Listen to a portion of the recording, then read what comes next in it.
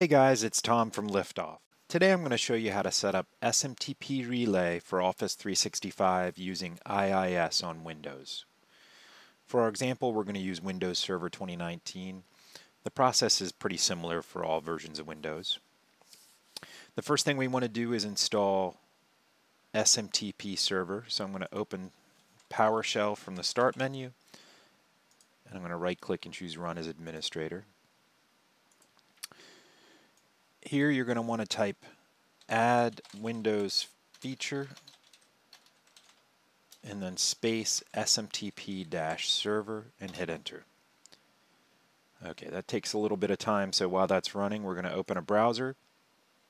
And the first thing we want to do is go to Google, I'm already there, and type what's my IP, just like I did it there. Go ahead and hit enter. This is going to give you the IP that your server uses to get to the internet. Go ahead and copy that to your clipboard. And now we're going to go to admin.microsoft.com for the 365 admin portal. If you're not already logged in, log in as a global administrator. Then scroll down on the left hand side and under Admin Centers, choose Exchange. And once it loads, you're going to go to Mailflow and then at the top you're going to go to connectors. Here, go ahead and click the plus and choose from your organization's email server to Office 365 and choose next. Give it a name. I prefer SMTP Relay, shortened to the point. Go ahead and uncheck that bottom box. This isn't an Exchange server, so we don't want to keep old headers. And choose Next. Here you're going to choose the second radio button and you're going to click plus and paste that IP you copied earlier. Click OK. Choose Next and then Save. This can take a few moments.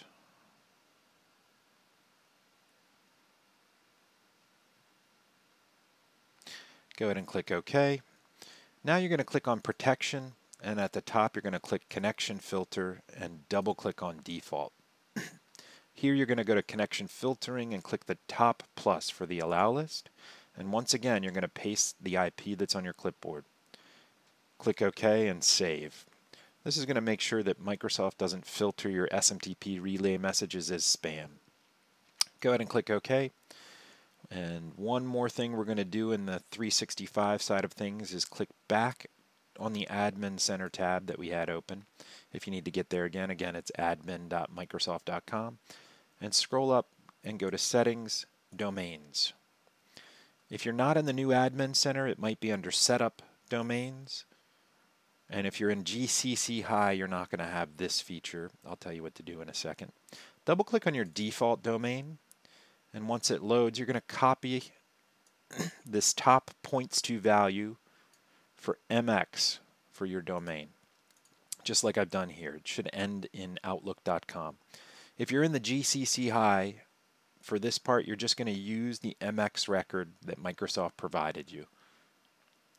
Okay, now that I have that copied to my clipboard, I'm going to minimize this page. We can see that in PowerShell SMTP server is installed, so I'm going to minimize PowerShell. And now I'm going to go to Start, and I'm going to type Services. I'm going to hit Enter. And here, we're going to scroll down to Simple Mail Transfer Protocol. I'm going to double click on it. This is the server for SMTP Relay. And we can see it's running, but it's set to manual, which means it won't start on its own. I'm going to change that to automatic under Startup Type and click OK. And now I'm going to go ahead and close services. So now if we install updates or we reboot, SMTP services will start automatically. Next I'm going to click Start and type IIS and we want to choose Internet Information Services 6. So sometimes you'll see Internet Information Services Manager. You want to make sure you choose the one that says 6.0 in it. Okay, I'm going to go ahead and open that. Maximize that. Here I'm going to expand the server name and then right click on SMTP Virtual Server and choose Properties. And we're going to start on the Delivery tab. Okay, here I'm going to click Advanced and under Smart Host, I'm going to paste the name I copied earlier. So again, this is the MX record from Office 365 for your primary domain. I'm going to click OK and apply. Now I'm going to go to Outbound Connections and confirm the default settings. Most importantly that the outbound port is port 25. So I'm going to leave it that way. Go ahead and click Cancel. Here I'm going to click Outbound Security. And this is important. Check this bottom box for TLS encryption. This makes sure that your outbound messages that go over the internet are encrypted. Okay? Go ahead and click OK and apply. Under Messages, I like to uncheck the top two boxes. Those are limitations on this server for accepting emails. I don't like there to be any limitations here. If you send a message that's too large for Office 365, it'll be rejected on that side. I don't like it to be rejected here, so I'm going to go ahead and click Apply. here I'm going to click Access, and under Relay at the bottom, I'm going to change it to All except the list below. So this means that all accepted messages on this server are going to be allowed to relay to Office 365. That's what we want. Go ahead and click OK and apply. If you do want to limit connectivity to this server, you do that under connection control. You're going to click connection and here you're going to change it to only the list below and then click add and add, either add the IP addresses for the devices or services you want to use this server for or add your subnet here. In this case, I'm going to leave it open, so I'm going to change it back to all except the list below and click OK and apply. And finally, I'm going to click General and check the box to enable logging down here and click OK. And that's it. My server's all set up and ready to go. Okay, so now what do I use on my copiers and scanners and maybe help desk software or web pages to send emails through this server? I'll show you. I'm going to minimize IIS here. And I'm going to, in this PowerShell, I'm going to type ipconfig to show my IP address. And the IP that matters is this server's IP, right? So I'm going to copy that and hit enter. Now I'm going to bring up a document that shows the settings. I'm going to replace the IP here with the one I just copied. Okay, so I'm going to read this to you real quick. The important stuff is in uh, highlighted in the middle here, but here are the settings you're going to use for SMTP relay.